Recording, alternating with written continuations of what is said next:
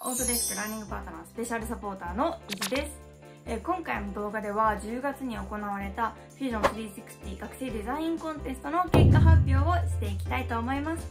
今回のテーマはハロウィンを楽しくするアイテムということで過去最多のねたくさんの応募をいただきました。ありがとうございます、えー受賞作品だけじゃなくて特に面白かった作品だとか Twitter に上げてくれた作品も紹介していきたいと思います。皆さん最後までご視聴お願いします。それでは結果発表へ参りましょう。それでは作品を見ていきます。今回はねテーマがハロウィンということでかぼちゃの作品を多くいただきました。かぼちゃはねフォームで作ることが多いと思うんですけど前の動画でも解説したかぼちゃの作り方などを踏襲してやってくれてる人が多かったですね。このね光ってるかぼちゃとかリアルでいいですね。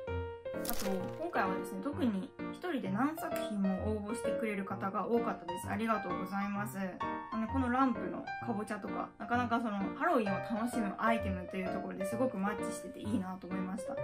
と1作品に対していろんな角度からね送ってくれたりするとあの見え方がまた違ってくるのですごくいいですね。このねかぼちゃだるまこのね融合がすごく面白いなと思いました。やっぱジャック・オ・ランタンはこの顔のね造形だけでこのかぼちゃだなっていうのが分かるのでそれのだるまとのコラボレーションっていうのが斬新ですごく私大好きな作品でしたね。あとあのかぼちゃの小物入れみたいなのを作ってくれる人も多かったです。キャンディーで作ったかぼちゃっていうのもすごく良かったですね。レンダリング自体がとっても綺麗だしアイテムとしてこのキャンディーを刺していくことでかぼちゃの形になるみたいなそのアイテム自体の発想がすごく面白いなと思いました。レンダリングもめちゃめちゃ綺麗ですね。あとこっちの釜？かな？この釜の周りをかぼちゃが囲んでるみたいな。これすごくレンダリングが綺麗ですよね。光の当て方とかもちょうどよくって釜に反射してる光だとかあと下にね反射して綺麗に光が広がってる様子とかすごく綺麗です。まるで展示してあるような空間ができててすごく好きでした。かぼちゃ以外にもね可愛らしいアイテムもいただきました。これはお化けかな？なんかピクトグラムみたいなので作ってくれてるお化けとか。あとねオリジナルカー？かぼちゃのオリジナルカーを作ってくれてるのもありましたね。これ下はソリみたいになってるのかな？あのかなりオリジナリティがある作品ですごく面白かったです。これは雲？雲かな？っていう題材一つだけですごく皆さんの発想がで広げていただいてかぼちゃ以外にも作品が集まりました。ありがとうございます。え今回はですね「ハッシュタグキャドラボハロウィン」でつけてもらってツイッターで発信をしてもらいました。本当にねあの最終日に向けてどんどんどんどんキャドラボハロウィンの作品を上げてくれる方が多くてとても嬉しく見てました。もちろん審査は応募作品に応募してくれたもので見てるんですけどもちろん応募作品は、えー応募してくれた画像を見てあの選んでるんですけどあのツイッターでね上げていただくと運営側も見てるのでできていく過程だとかあといろんな角度から作品を見れたりとかそういうのがあって私たちも楽しく見てました。ありがとうございます。それではですね続いて優勝には惜しくも届かなかったけど審査員の間ですごく話題になった作品を紹介していきたいと思います。えまずはパラさんのスチームパンク風コウモリ。これすごくコウモリの造形がリアルですよね。あのすごく細かくこだわっていて、まあこの骨の感じとかあと腕のねつなぎの部分とか細かく見ると本当にすごいな。本当にワイヤーでねまるで作られてるようなあの質感が出てますね。あの細かいところでこの骨？骨の先の部分をちゃんと尖らせてたりだとかあとコウモリのすごくバランス感もいいですよね。実物のコウモリを踏襲したバランス感覚ですごくいいなと思いました。あのレンダリングのね世界観も統一されていて、まあ後ろの金色の造形だったりとかこの反射してる光とかが全体的なスチームパンク風を演出しててすごくいいいいなと思いました。ありがとうございます。続いてハロウィンパンプキンさんのヨーヨーですね。これもねかぼちゃが透けてるっていうのは斬新な発想だと思いましたね。やっぱりかぼちゃ作ったら色つけたくなるんですけど透明なかぼちゃの周りをねカラフルなかぼちゃで囲むっていうなんかこういう置物みたいなアイテムがあったら確かに楽しそうだなと思いました。ありがとうございます。続いてレッドさんのおかしなひととき。これ見た瞬間にめっちゃ可愛いって思いました本当にねクッキーの押し出しで作ってくれててあの、なんて言うんだっけこの上に乗せるシュガー、カラーシュガーみたいに乗せるやつあれがね、あの、乗ってる様子が表現されててすごく可愛いですね。まあ、チョコの光沢感とかもすごく良かったです。このね、お化けが食べてるところがなんともね、愛らしいですよね。なんかこういう動かない絵の中に一つ有機的なまるで生きてそうなものっていうのを一つ入れるだけでその絵の中に関係ができてすごくねなんか生きたようなレンダリングになるなと思いました。ありがとうございます。続いてキノピーさんのトリックトリートですね。えこちらはですね何枚か写真を送っていただきました。あのレンダリングでねいろんな角度から送ってくれてたので、まあ、一つの造形物の見方もね360度見ることができて 3D ならではの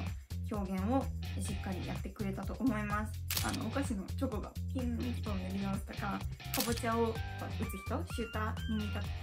あのまるで生きてるかのような表情を作ってるところとかがすごく良かったです。あの後ろからもねしっかり造形こだわってくれててすごくいい作品で話題になってました。ありがとうございます。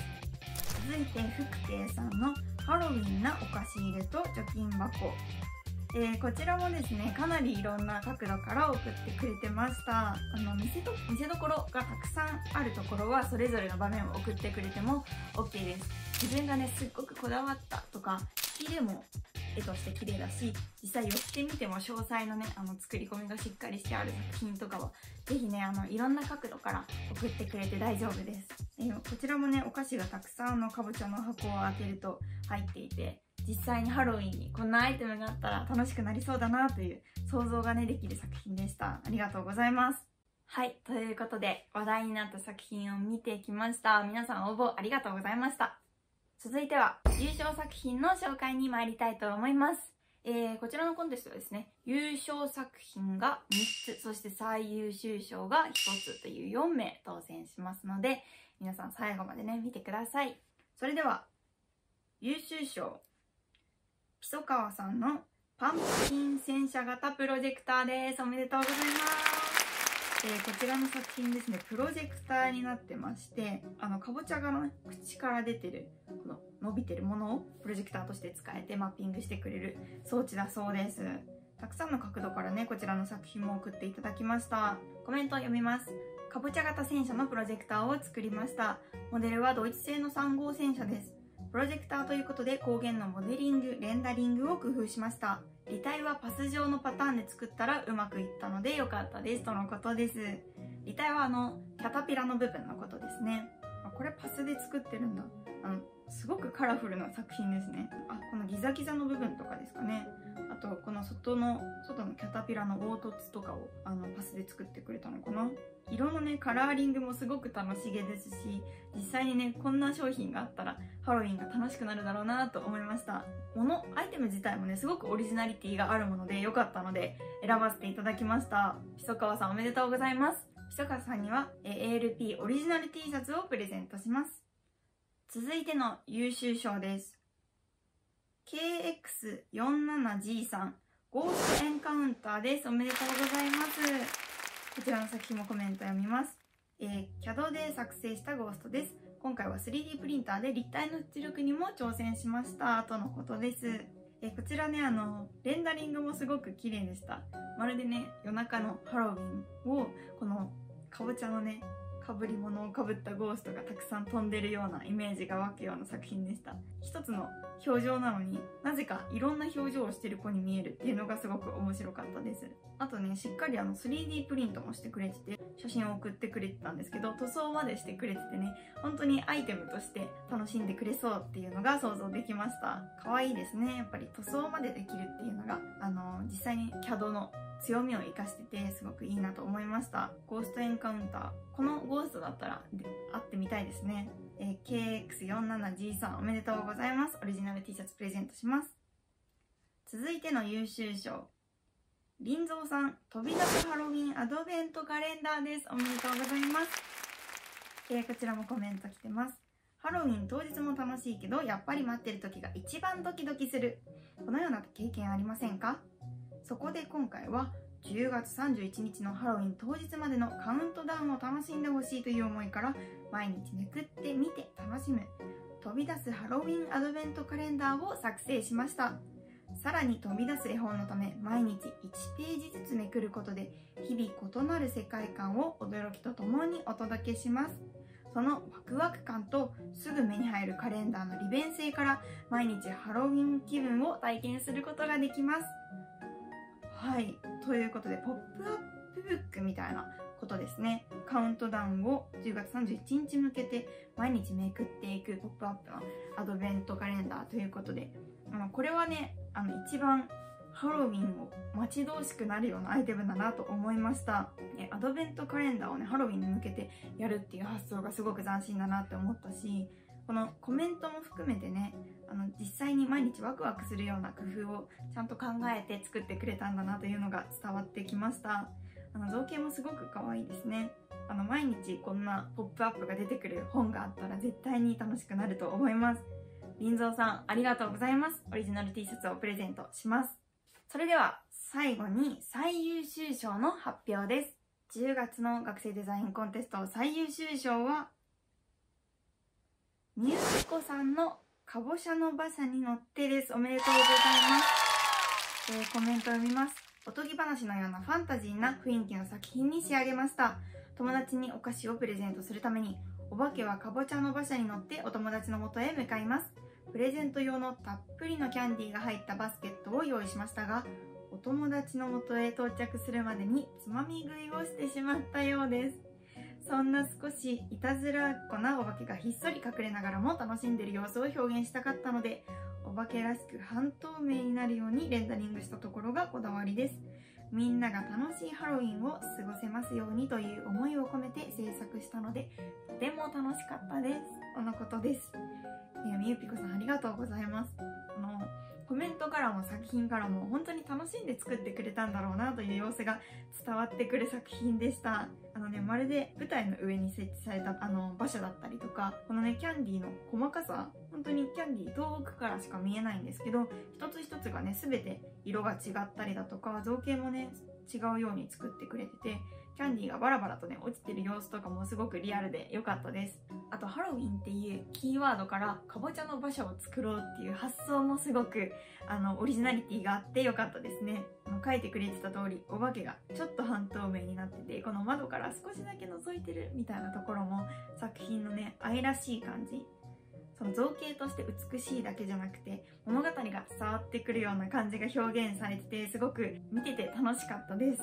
ファンタジーな世界観を CAD の特性をね利用して作ってくれたと思います。え、みゆぴこさんおめでとうございます。みゆぴこさんには Amazon ギフトカード1万円分そしてオリジナル T シャツをプレゼントします。皆さんたくさんの応募ありがとうございました。今回はねすっごく盛り上がったので嬉しかったです。今公開されている11月もコンテストを開催しています、えー、今回のテーマはスノードーム。なのでぜひこちらも応募してみてください。最後にご案内です。え今回のコンテストはですね1年間を通して年間応募賞というのを用意しております、えこちらはですね3回6回そして11回に応じて絶対にもらえる商品を贈呈しております。3回の応募では、え ALP ロゴ入りマスクケースとステッカー。6回の応募では ALP ロゴ入りオリジナルマスクをプレゼントします。そして11回の応募ではパーカーをプレゼントしております、え10回応募されてる皆さんはこちらになります。えあと1